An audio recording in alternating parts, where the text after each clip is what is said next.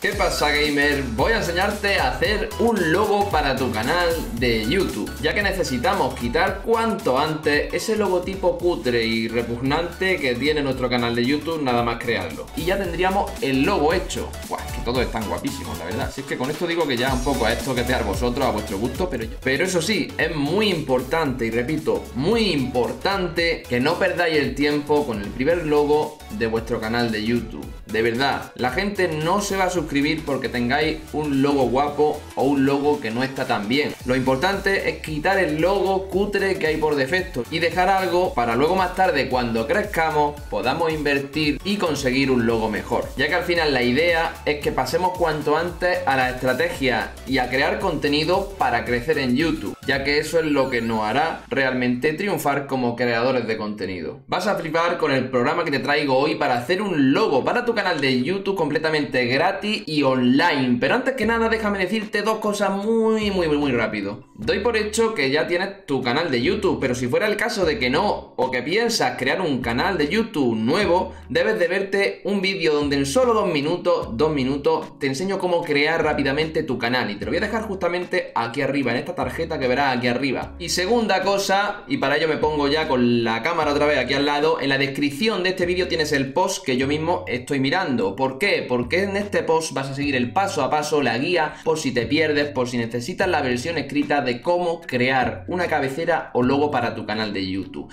Aquí necesitarás además ir porque vamos a empezar ya de ya y lo que quiero es que vaya al post de la descripción del vídeo como yo, baje abajo y vea este enlace que hay de color rojo, donde vamos a la herramienta en sí, que pone Editor Online Pixel o como se diga, editor online. Le damos clic y directamente se nos abre el editor que va a ser eh, la herramienta online donde crearemos nuestro logo de YouTube. Bien, tras clicar nos iremos a esta página donde arriba pone iniciar sesión. Le damos clic y vamos a loguearnos con nuestra sesión de Google. También podemos hacerlo con Facebook o crear una cuenta mediante correo electrónico. Lo más fácil es lo de Google. Y entonces apareceremos con el editor de pixlr-e, ¿vale? Si nos deja elegir, elegimos la versión E, porque hay dos versiones, cerramos esto y le damos aquí arriba donde pone crear nuevo, ¿vale? Debajo de abrir imagen pone crear nuevo. Y aquí a la derecha, arriba a la derecha pone icon, icono. Entonces clicamos, vamos a fondo, lo tildamos para que esté activado y vamos a dejarle, por ejemplo, un fondo de color blanco crear y ya está. Aparecemos entonces en esta página donde vemos toda la interfaz. Mirad, a la izquierda están las herramientas para usarla, arriba está el menú para importar imágenes que lo haremos justo ahora y aquí en el centro está digamos el boceto. Antes de empezar a hacer el logo yo recomiendo una cosa muy chula que es que ir a Google y poner algo sobre lo que vaya a nuestro canal. Por ejemplo, mi canal vamos a suponer que va de gaming, entonces en Google busco gaming y ya me salen imágenes, entonces voy a coger una imagen cualquiera y me la voy a descargar. Mirad, esta imagen por ejemplo me gusta, así que clic derecho le doy a guardar imagen como y la guardo en mi PC. Entonces vuelvo al editor online y le voy a dar a archivo y a abrir imagen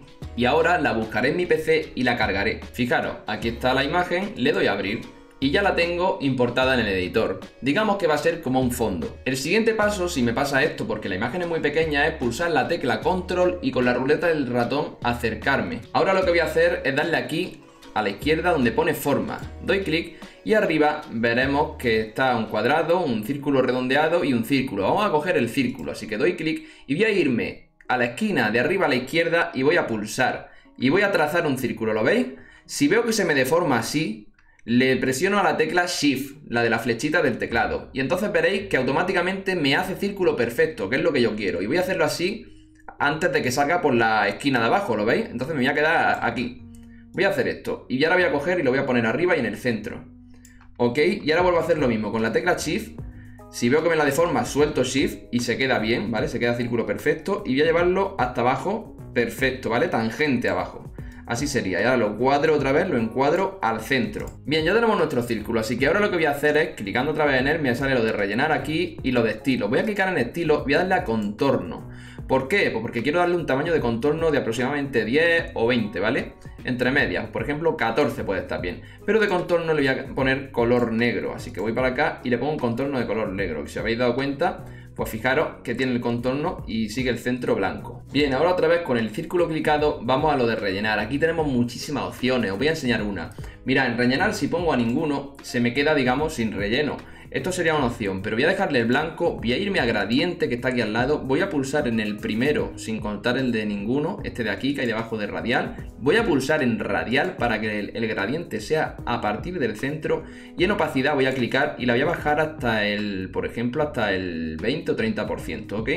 Y se me queda así. Bien, la verdad es que me está quedando muy guay. Joder, va a quedar un logo de madre y en nada de tiempo. Entonces, lo que voy a hacer ahora es irme de nuevo al panel de herramientas de la izquierda y a la T de texto le voy a pulsar. ¿Para qué? Para escribir ya las iniciales de nuestro nombre si es pequeñito o simplemente la primera letra del nick de nuestro nombre para el canal de YouTube. Cuando clico me dice ¿quieres añadir una capa nueva? Le digo añadir. Y ahora simplemente escribir. Cuando he escrito selecciono todo el texto y vamos a modificarle el tamaño. Aquí en tamaño le doy más o menos tamaño. Voy a darle un tamaño tal que me quepa en el círculo más o menos. Pero ahora lo modificaremos más porque lo importante es la fuente que veis aquí, la fuente de letra. Vamos a poner una fuente de letra que esté chula. Una vez que tenemos la fuente de letra, volvemos a modificar el tamaño porque seguramente se nos quede muy grande o muy pequeño. Y arrastramos para que esté en el centro. ¿Veis que se queda como por detrás? Si pasa eso es porque en las capas tenemos la capa del texto debajo de la del contorno, o sea, la del relleno la arrastramos de abajo hacia arriba, así, y ya queda por encima y se ve perfectamente. Así quedaría ya un logo de puta madre, pero aún así vamos a dejarlo todavía más guapo. ¿Por qué? Porque somos los mejores y te vas a suscribir a este canal. Por cierto, suscríbete, que luego se te pasa, que es que ya hemos terminado prácticamente el logo, pero vamos a darle el retoque maestro. El retoque que va a quedar el logo, ¡buah! Me vuelvo a cambiar para este lado la cam porque vamos a ir ahora aquí donde pone estilo, ¿vale? Con el texto seleccionado. Acordaros que he movido el texto de aquí hacia arriba para que sea lo primero, primero que se ve y lo que mejor se ve en las capas, ¿vale? El texto. Estilo y vamos a darle a contorno. ¿Por qué? Porque quiero contorno en el texto. ¿De qué color? Pues me ha puesto por defecto el gris, pero yo no lo quiero gris. Lo quiero, por ejemplo, de color negro. A ver cómo le queda el negro. ¡Buah! El negro le queda de puta madre. ¿Voy a hacerlo más pequeño? Pues en tamaño lo reduzco un poco. ¿Cuánto? Pues lo que yo quiera. Por ejemplo, en 16 me parece que está brutal. Pero podemos toquetear un poco de cosas más. En distancia podemos hacer esto. Y tocar un poco para que se vaya. ¿Lo veis? Qué chulo.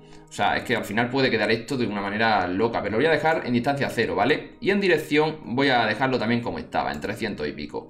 Sombra, pues podemos darle sombra, ¿por qué no? Vamos a bajar para abajo y hace sombra de color gris. No me gusta, prefiero una sombra de color blanco, así que arrastro y le doy sombra de color blanco. O incluso de un color así más llamativo, yo que sé, un color morado. Buah, color morado está guay porque el fondo es de color morado, entonces no es ninguna tontería. Y podemos mm, tocarle un poco la distancia, ves cómo la sombra se desplaza, la opacidad de la sombra, bueno.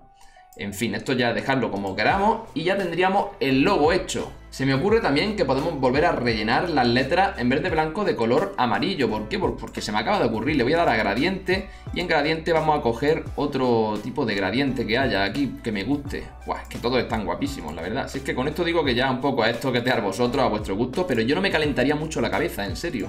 O sea, es dejarlo de una manera que esté guay y cuando lo tengamos, que lo tengo yo ya, me encanta este logo, porque al final el logo va a ser, el, va a ser digamos, el círculo. Vamos arriba a la izquierda, archivo y le damos clic a guardar. Aquí lo guardamos con calidad 100% como JPG o directamente como PNG también, ¿vale? Y le damos a descargar. Lo descargamos y lo subimos a nuestro canal de YouTube. Por si no sabéis cómo se hace, mientras os suscribís a mi canal de YouTube y me dejáis un comentario si os sirve el vídeo, hacedlo porque es muy importante, pues vamos aquí este sería mi canal de YouTube, le doy clic a la foto que está donde mi logo cutre, se nos carga personalización del canal y aquí donde pone lo del logo, imagen, le doy clic a subir. Cojo mi logo espectacular de Yogi, doble clic y veo que está cuadrado directamente porque he centrado la imagen como he enseñado y le doy a hecho. Y fijaros por Dios cómo queda, le doy a clic a publicar.